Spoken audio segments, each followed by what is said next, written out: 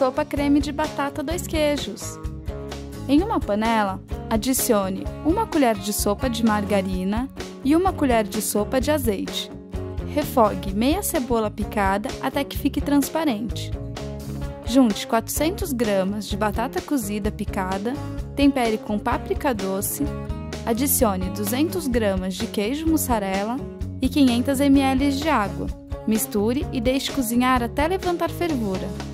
Com a ajuda de um mixer ou liquidificador, triture a sopa até virar um creme. Adicione 2 colheres de sopa de requeijão, tempere com noz moscada, sal e misture bem. Sirva ainda quente com salsinha e queijo ralado.